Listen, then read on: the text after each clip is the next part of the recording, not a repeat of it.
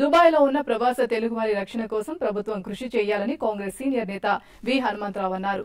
దుబాయ్లో జరిగిన వేవ్ వార్షికోత్సవంలో పాల్గొన్న ఆయన విదేశాల్లో పనిచేస్తున్న కార్మికులు ఉద్యోగులకు జరుగుతున్న అన్యాయాలను అరికట్టేందుకు ప్రభుత్వం చర్యలు తీసుకోవాలన్నారు.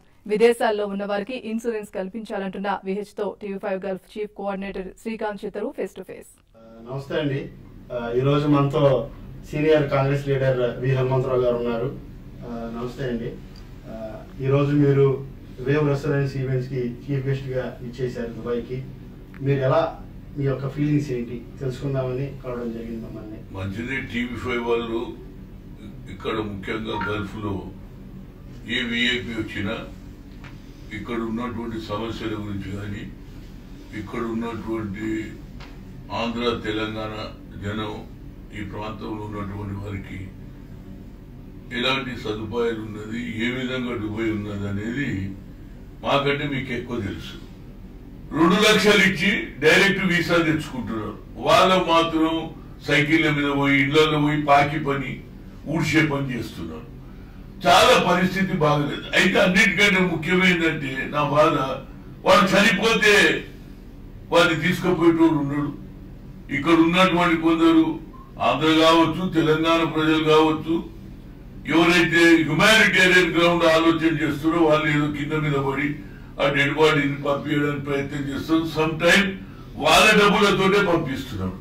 కొందరేమో వీసా కొట్టేసేస్తే వాళ్ళే టికెట్ తెచ్చి పంపిస్తున్నారు. అయితే నా ఉద్దేశంలో ప్రభుత్వాలు కూడా తెలంగాణ ప్రభుత్వం కానీ ఆంధ్ర ప్రభుత్వం కానీ ఈ రీసెంట్లో చంద్రబాబు నాయుడు గారు ఒక మంచి అనౌన్స్మెంట్ చేశారు. ఏం అనౌన్స్మెంట్ అంటే ఎవరే గారి చనిపోతే తప్పనిసరిగా కుటుంబాన్ని సేవ్ చేయడానికి పది లక్షలు ఏది ఎక్స్గ్రేషియా ఇవ్వడం అదే విధంగా ఎవరైతే యాభై రూపాయలు ఒకసారి కట్టితే వారికి పది లక్షల ఇన్సూరెన్స్ ఇవ్వాలనేది ఒకటి. ఇలాంటి కష్టకాలంలో ఉన్నప్పుడు లేబర్ ఎవరికైనా ప్రాబ్లమ్స్ ఉంటే ఆ ప్రాబ్లమ్స్ కూడా సాల్వ్ చేయడానికి కమిటీ ఏర్పరిచినట్టు నేను నిన్న మంచిదే. అదే విధంగా మరి కేసీఆర్ గారు కూడా ఎన్నికల ముందు చెల్లుతో నేను అది చేస్తాను ఇది చేస్తాను ఐదు లక్షలు ఇస్తాను ఇంతవరకు మూడున్నర సంవత్సరాలు ఏది లేదు. కానీ ఫెస్టివల్స్ వచ్చినప్పుడు మాత్రం నాయకులు వస్తారు బతుకమ్మ అని వస్తారు బతుకమ్మకు బాగా ఆడిపిస్తారు వెళ్ళిపోతారు. కానీ వాళ్ళు బతుకమ్మ ఏ విధంగా ఆడుతున్నారు వాళ్ళ కష్టాలు ఏంది? బతుకమ్మ మీద ఉన్నటువంటి శ్రద్ధ పేద ప్రజలు ఎవడైతే ఇక్కడ పనిచేస్తున్నారో కూలినానికి వచ్చిండ్రో వాళ్ళ గురించి ఆలోచన చేస్తున్నారు. ఏ విధంగానైతే చంద్రబాబు నాయుడు పది లక్షలు ఇస్తారు అన్నాడో అదే విధంగా రాష్ట్ర ప్రభుత్వం కూడా ఇవ్వాలి ఎందుకంటే మెజార్టీ లేబర్ ఎక్కువగా ఎక్కువ సంఖ్యలో తెలంగాణ వాళ్ళు ఉన్నారు. ఎన్నికల ముందు నువ్వు ఐదు లక్షలు అన్నావు ఇంతవరకు మెటీరియలైజ్ కాలేదు.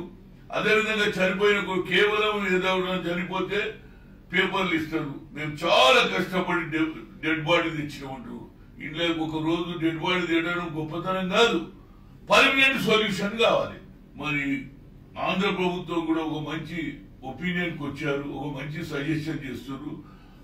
అదే ప్రకారంగా రాష్ట్ర ప్రభుత్వం కూడా ఇంప్లిమెంట్ చేయాలనేది నా ఉద్దేశం. మన మనుషులను మనం కాపాడుకోవాలంటే రాష్ట్ర ప్రభుత్వాలు ఎక్కువ శ్రద్ధ వహించాలనేది నా ముఖ్య ఉద్దేశం. దీని మీద తప్పనిసరిగా అయితే కాంగ్రెస్ పార్టీ రాహుల్ గాంధీ దృష్టికి తీసుకొస్తాం మహారాష్ట్రలో రేపు మా ప్రభుత్వం వస్తే తప్పనిసరిగా కాంగ్రెస్ వరకు మేము తప్పనిసరిగా రెస్పాన్స్ తీసుకుంటాం. అదేవిధంగా ప్రస్తుతం ఉన్నటువంటి తెలంగాణ ప్రభుత్వం మీద బతుకమ్మ మీకున్న బిజీ షెడ్యూల్లో మాకు అవకాశం ఇచ్చినందుకు చాలా థ్యాంక్స్ అండి.